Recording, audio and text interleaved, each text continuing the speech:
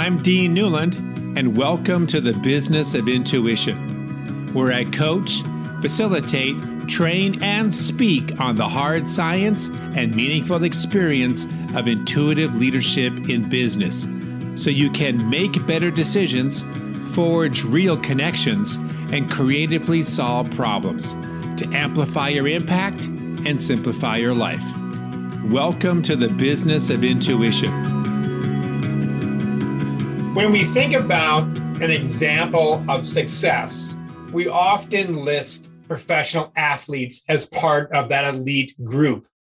But when you get into the data, according to my guest coming up here shortly, 78% of professional athletes go bankrupt within three years of their playing career. So, why is that? Well, when you get into the data even further, 87% of those people came from homes that were at or below the poverty level. In short, they were actually programmed as kids to be poor. Now, as controversial as that may sound, there are certain set points or anchors that we establish when we're young children, usually between the age of one and seven. And those set points or those key decisions become those that we use the rest of our lives. So, what does that mean in business or in leadership? Well, the people that are running our companies and in front of our teams and working with our organization and our clients are primarily working from those set points. Put another way, as Einstein once said, that the decision that we have to make in our life is are we living in a friendly universe or a hostile universe?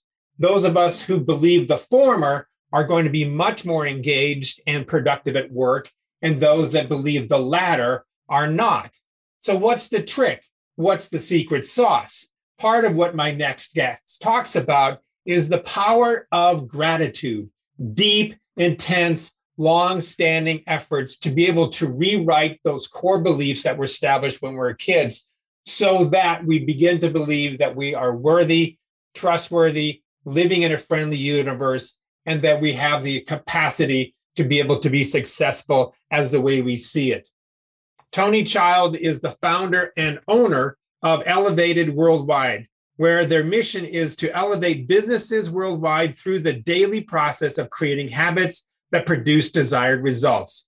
He focuses on helping companies reach their goals while implementing positive change in their lives of its employees with time tested and research based processes. Tony Child on the business of intuition.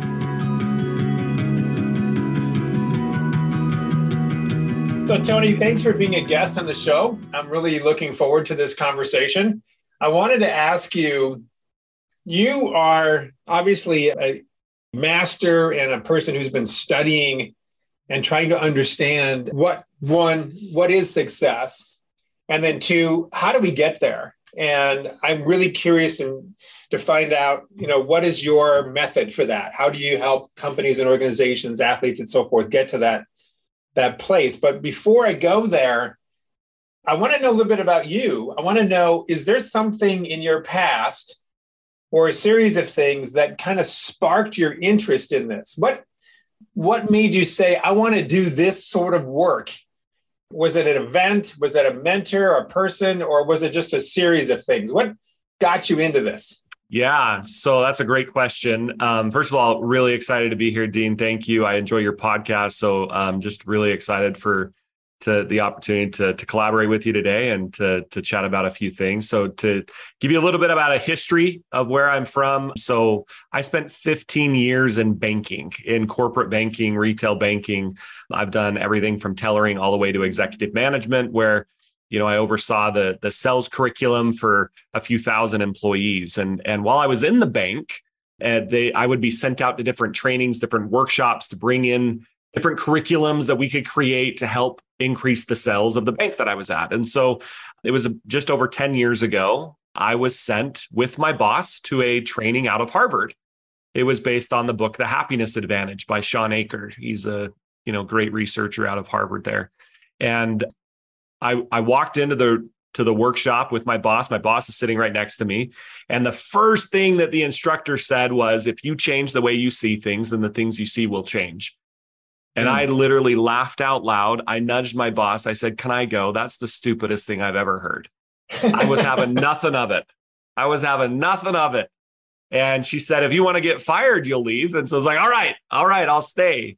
And that three hours changed my life, changed every hmm. facet of my life. I was getting degrees in in you know math and accounting business management i ditched all of them and i switched all my degrees in college i was like a semester away from graduating switched all of them to communications positive psychology i just wanted to understand the mind at a deeper level and so that event that 3 hours catapulted uh, now several companies. I'm a part of several companies and help thousands of people all across the world. And in particular, professional athletes, NFL athletes, Olympians, I help them transition out of their careers. So uh, it's just been an amazing journey from that one little event. So you've obviously had a shift of perspective, a mind, a mind shift. Mm-hmm. Can you kind of give us what was it and what did it become? Yeah. So, I mean, I've heard about personal development and think and grow rich, but I had never read it. I thought it was all just foo foo, woo woo, like, did not want to have anything to do with it. And so that first sentence by that instructor, it kind of triggered this like, oh, this is one of those workshops, one of those like woo woo mm-hmm. workshops, you know? Mm-hmm.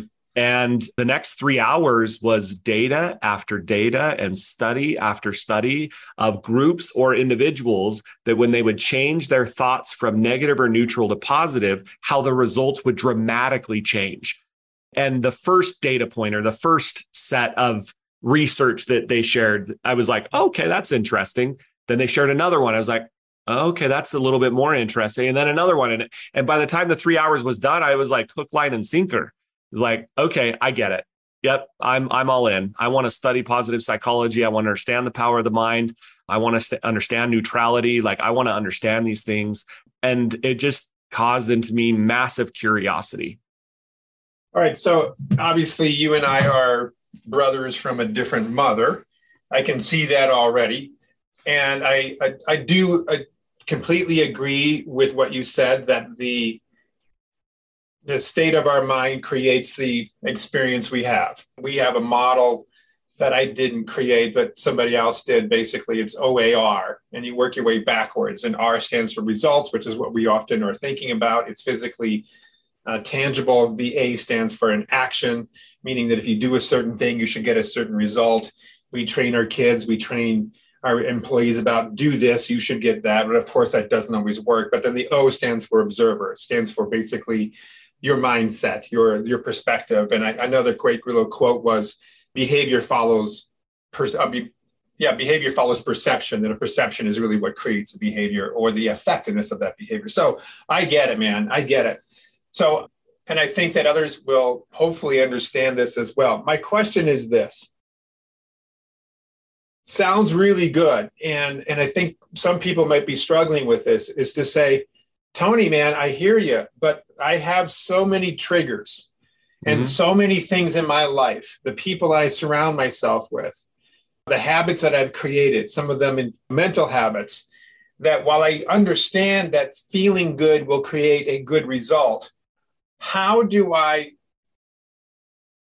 unhitch myself from a pattern of thinking that has typically been there to keep me in the place that I've been in for a long time. In fact, my identity is somewhat wrapped up in that.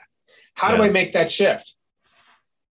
So, the first thing I would share is just understanding the difference between conscious and subconscious. So, you know, the research shows that three to 7% of my day, my life is conscious awareness.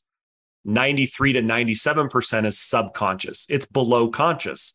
So, all these triggers, all these habits, they're dramatically controlling our lives, like dramatically. And when I would go to trainings, so I would do trainings all the time at the work or at the bank, it was all conscious awareness. Let's get your notepad out and let's just write down some good data points. Let's write down some good things. And now I need you to go implement them. That's all conscious awareness. when you really want to make some major shifts, it's about being aware of, all right, what's underneath the hood? What's the subconscious things that are going on? And so, you know, as as as people look to their life, if they look to the future and they say, okay, you know, I I I want to 10x what I'm doing. Then it's okay, well, what do you think you need to 10x? Well, I need to be more confident. I need to be braver. I need to take more risk. I need to be, you know, more loving on myself and others. Whatever it is, like it's this quest that I have to become something that I'm not. I've got to go out and become this person that innately is not me. And if we were to rewind the tapes, so Dean, let's rewind the tapes. Let's go back to a child of one and a half, two years old. If we describe the characteristics of a one and a half, a two year old, a three year old, like what are some of the characteristics you would you would use to describe a three year old or a two year old? Open. Open. Accepting, playful, agile, emotional. Yeah. All those things. Quick to forgive, brave, confident, yes. like they they just they're persistent as hell. They will just be they will persist and persist and persist until they get what they want. If if you ignore them, they just get louder. They they don't get softer. If you're in an airplane with a 1-year-old that has that is dirty, hungry or tired, they don't care who's in the airplane. They're right. going to scream until you take care of them. And and so innate in all of us are all of these characteristics. Now, what happened was we started to make decisions about life really early on based on warped data. So here's an example of this. Let's say you're driving in the car, you're driving, and your mom is in the passenger seat, and you got a child in the back seat. And all of a sudden, as you're driving, you hear out of the back seat, Grandma, your nose is huge. As a dad, what are what do we do? That's our child that just told grandma that is that her nose is huge. What do we do to the child? What do we say? That's not appropriate. That's not nice. Of course, grandma looks pretty. You know, that's you know, we basically we would scold the the we potentially could scold the, the young child for yeah, saying something. So we tell the young child, hey, we don't tell grandma her her nose is huge. But guess what? Right. The fact is, there's a fact that's playing at play here. What's the fact? Grandma's nose is huge. And this child is just calling a fact out. The child is just saying, Grandma's got a huge nose comparative to other noses. Like, and it's right. a no big deal thing to the child. And when we correct the child as an adult, we say, no, we don't say that. We don't do that. Now, the child, here's what happens child makes a decision about yeah. how to play in life. And Correct. the decision at that moment is, I can't say the truth.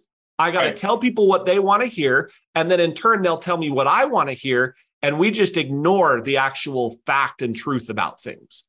And Absolutely. they do that the rest of their life. Yes. And now they're 50 years old and they wonder why they can't tell the truth and why they can't tell people just the way that it is. Because and they don't realize that that, that is that. subconscious. Yes. So that's, so that's the that's the work. So then the the, uh, the the the rub is subconscious is not conscious. Mm-hmm. So then, how can we get to? How do we use the conscious brain to get to a conscious, unconscious part of our personality? How do we get to that part such that we can add conscious awareness to it, so that we can eventually change it? Yeah. So there's all different. There's different modalities to be able to do that. Therapy, coaching, just journaling there's look at your results, look at your behaviors, look at your beliefs, look at the things that you hold about life. And it's just like, where did that come from? Why do I hmm. believe mm. that? And it's your it's our willingness as human beings to look at a result and say, okay, I caused that result, but what was I believing that caused the result? And and if I were to rewire that belief, what would happen to my result? Would my result change if I were to change the belief about it? So you're using the willingness to using, go deep on that.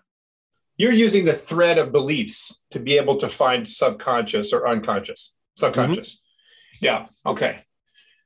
And so if you were to work with a an executive or let's say it's an athlete, give me an example, Tony, where you worked with somebody to be able to help them uncover what their belief was so that we could get to that subconscious and then maybe to rewrite. I'm assuming we need to rewrite some of these subconscious decisions yeah. that it may have worked when we were one and a half. And I'm sorry, at 50, it doesn't necessarily work. So, yeah. how do we then, one, find out what the source is, and then two, rewrite the code? Yeah. So, again, ha- just being aware like most we're just unaware we don't know what we don't know it's mystery so if i'm completely unaware of something i don't even know that it exists and so it's the like when when i went to that workshop i had no clue that this whole realm of personal development positive psychology was even a thing because i just mm-hmm. was unaware of it i right. was completely oblivious to it and so what happened with me was i had somebody come up to me and say tony like why why don't you make a million dollars a year? And it was like, well, I, I can only make a hundred thousand. And and that was my belief. Like that was my like cap. That was the thing that it's like, I'm only gonna make maybe two hundred thousand dollars in my lifetime. Making a million dollars didn't even enter my brain as a realm of possibility. And then, you know, one of my mentors said, Well, do you want to make your annual income your monthly income? It's like, hmm. well, yeah, of course. It's like, all right, we've got to rewire some things. We've got to rewrite, rewrite some things because your beliefs right now will never, like, it's not programmed to take you there. So now, fast forward with athletes. Okay. So I, I share that as kind of a backdrop. Now let's go to athletes. So, what percentage of athletes go bankrupt within three years of their playing career? Do you know? Do you know? I don't know, but I, I have a feeling like it's a lot more than we think. 78%. Wow. 78% of professional athletes go bankrupt within three years of their playing career. And my question is they have the best, the very best financial people advising them. How is it that they could go bankrupt within three years? Like, how? How does that even happen? And then I started to dive deeper. Yeah. I started so to go, go deeper it. in my research of like, all right, let's let's dive deeper into this. So I started to research what percentage of professional athletes come from poverty or below poverty levels. Hmm. What do you think on that statistic? What percentage of professional came athletes from, came from poverty or below poverty levels? My sense, gut sense would be probably, you know, three quarters, maybe between 50 and 100. 87%. Wow. 87%. They are literally programmed to go broke. The, mm. Their beliefs about money, their beliefs about spending, their beliefs about everything is I'm poor. Mm-hmm. They've literally taken that identity on. Now they can have all the riches thrown at them on the planet, but they are literally programmed to be poor. And so, as the work I do with professional athletes is like, all right, so you just barely entered your career. Let me teach you that if you don't change some things, you're going to go bankrupt. Mm-hmm. And here's and and it's just making them aware. And once they're aware, it's like, oh my heavens, you're right. And and then we just rewire. We just go through and we help them figure out like how to rewire their brain to be more of abundant mindset and rich mindset or wealth mindset than poor or lack mindset. Okay, so uh, I'm an athlete. I've, I've made it big time. I've got millions of dollars coming in all the time. I'm eventually going to stay at the mid 30s. Maybe I'm 40. I'm no longer an athlete. 87%, no, 78% of me, of us, are, is going to go bankrupt. For a period of time, though, Tony, I was, as the athlete, I experienced wealth. Mm-hmm. I experienced probably from our societal perspective, the paradigm that we all share, I was at the pinnacle of what wealth looks like, not only wealth of money, but experience and fame and all the stuff that we sort of wrap around that. Why doesn't some of that stuff rub off on my brain so that it sticks after I have finished my sports? Yeah.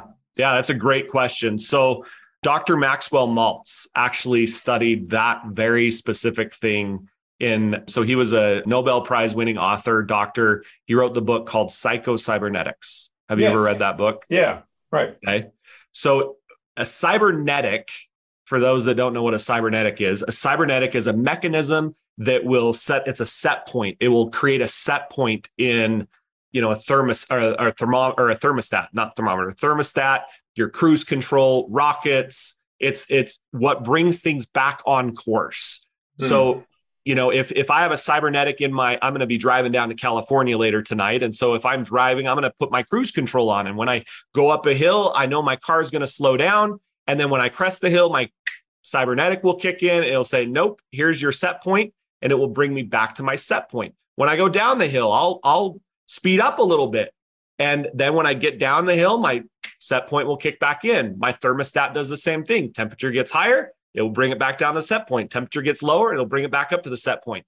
What, what Dr. Maltz found is that everyone has a cybernetic. It's a psycho-cybernetic within each of us. They're set hmm. points. And everyone has a set point regarding love. There's so much hmm. research hmm. that shows that if a if a parent or if a child is part of a divorced family, the percentages are crazy high that that person will get a divorce in their lifetime because that's their set point. That's what they saw. That's what they experienced. That's the beliefs of what how they saw relationships. Mm-hmm. And so the set point for athletes is poverty, 50,000 or lower. Mm-hmm. That's their set point. They go out and they make millions of dollars in their career and then it's done. The cybernetic that Dr. Maxwell Maltz found is that it must go back to the set point unless they learn how to change the set point. And that's the work that I do with them. It's like, all right, we just got to change your set point. If you don't change it, your cybernetic will kick in and you'll come right back down to your set point. It happens, biggest loser. If you've watched the show, The Biggest Loser, they go and they they release all this weight. They lose tons of weight. Right. The percentages that of them that get it all back are so high. Why? Because they didn't change the cybernetic. They they okay. lost all the weight. They gained it all back.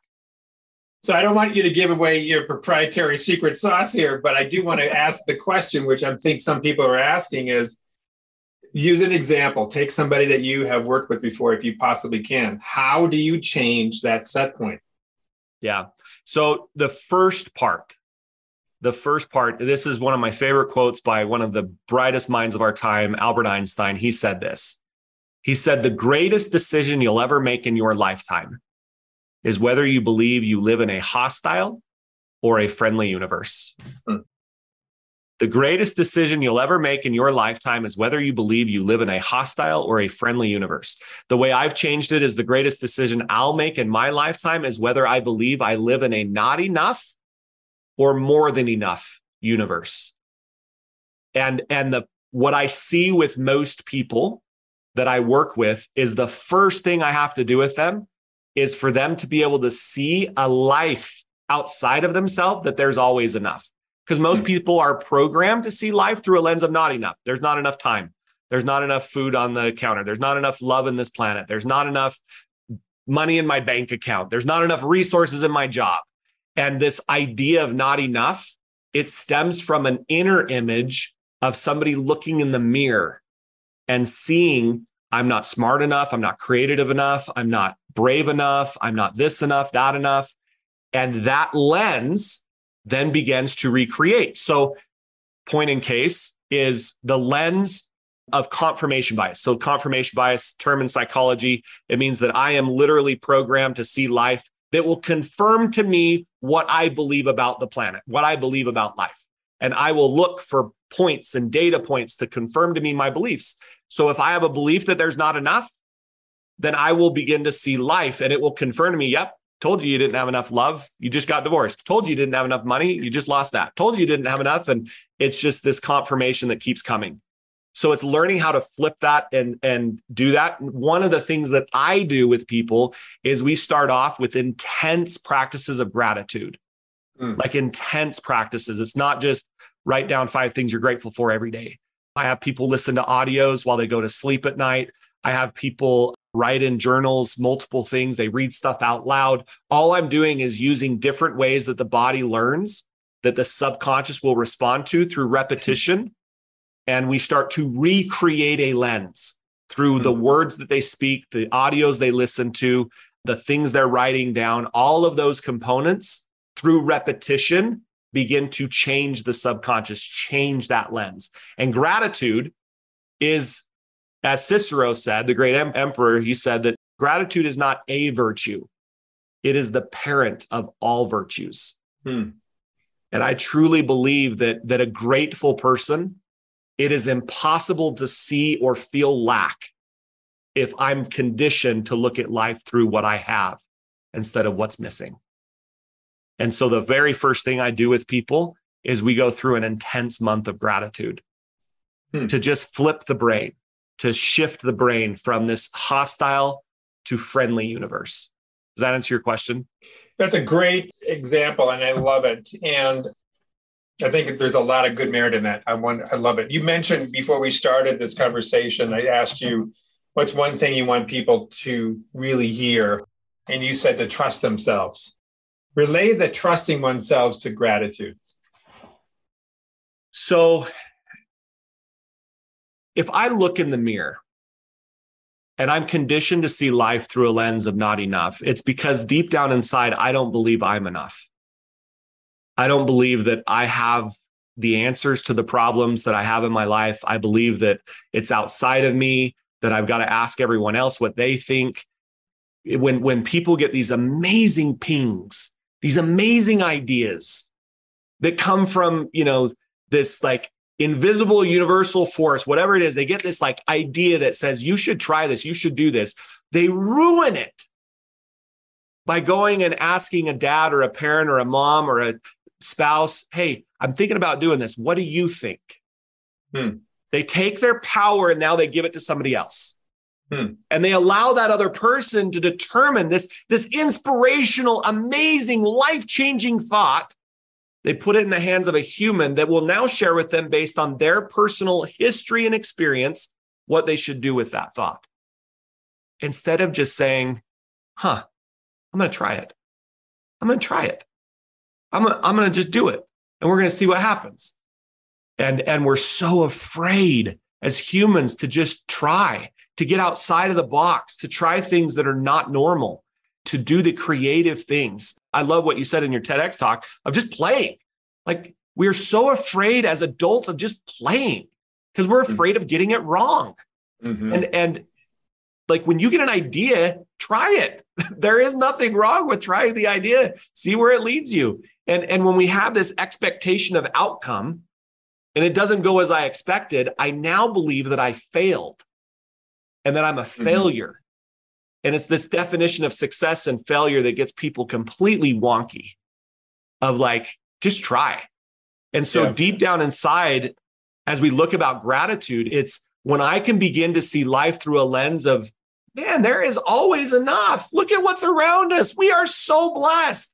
I begin to look in the mirror and see myself that way a bit like, man, I I am so like, look at this body.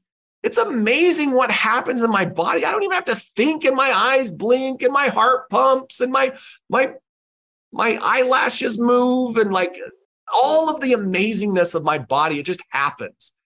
And I begin to look in the mirror and it's like, man, I love this creation that's there. And when I do that, I begin to trust myself. Mm. I begin to see that, man, I, I might be enough. I, I, actually might be enough for me to be able to go and do the things that I want in life and to take my life to a whole nother level. And when I can be that through gratitude, then I'll start to trust those pings. I, I won't give my power outside to somebody else and say, hey, what do you think about that? It's like I just turn the question. Anybody ask me that question, by the way, what do you think? I turn the question as like, I don't know. What do you think? You're the one that got the thought. What do you think about it? So right there, there's your. So vision, scale this up. You got several people, say within a team, an organization that has gone through this process. Their gratitude is much better than say it was before. They trust themselves better. What would that look like? Yeah. So on teams and organizations, I've done a lot of study through Gallup and on all of the engagement polls. So people that are engaged, unengaged, disengaged. And here's what I found a person that looks at life through a hostile lens is either unengaged or disengaged. Mm. The, something's out to get them. Yep. They will literally look that their boss is out to get them, their victim in every situation. They bring no solutions to their problems. They just complain about the problems. There's so much research around disengaged and unengaged. Mm-hmm. When you get into engaged employees, That's where the magic happens. Unfortunately, in the world as a whole, only 15% of the population are engaged at work. Yeah. I believe that 15% of the population actually looks at life through a lens of friendliness. Mm. That 85% is looking through a lens of hostile, out to get me, dangerous world. And when we can shift that and we can get people from unengaged or disengaged to engaged, like just imagine if companies turned their engagement numbers just 10%, what would happen? Mm-hmm. Those, those, that's the power of gratitude though. When you can get your your employees grateful, where they're just like, man, this is great. I love coming here. We've got more than enough opportunities. They will begin to shift and see problems as opportunities. The problem won't stifle them. They won't see a problem and then be like, uh, uh, I, I, I can't solve this problem. I need help. I gotta, I gotta have all these other things. They'll just trust themselves. Like, I got this. I'm gonna go Google it. I'm gonna go to YouTube and I'm gonna try, I'm gonna figure this out. This is a really cool situation I want to figure out here. They'll look at problems as opportunities. That's what engaged people do. Mm-hmm. Excellent. Tony, really good work, man. I, I, I really appreciate your passion and your clarity, and I love the fact that you that you have some data to support it because I think there are some out there that value that and and you provided that. How can people connect with you, learn more about what you're about? Yeah, just come find me on my website, tonychild.com. I've got all my social media links there. You can come follow me on social media. Uh, we run events here in Utah. It's called Pivot Point. It's these the events that happened to me. So I went to that mm. event and it's like, oh my goodness, what just happened? Like i i want to provide those for other people where they come to an event and and it just completely 180s their life. It's the mm-hmm. pivot point to their life of like okay i'm ready. I want to i want to make a quantum leap. So we run those in utah. Come to my website check them out. We'd love to we'd love to have any of your your listeners come. So fantastic. Great stuff. Keep up the good work. Awesome. Thanks dean. You bet. Thank you for listening to the business of intuition if you enjoyed the show please subscribe, rate, and review on Apple Podcasts, Google, Spotify, or wherever you get your podcasts. If you'd like to learn more about Dean or Mission Facilitators Leadership, go to mfileadership.com. That's mfileadership.com.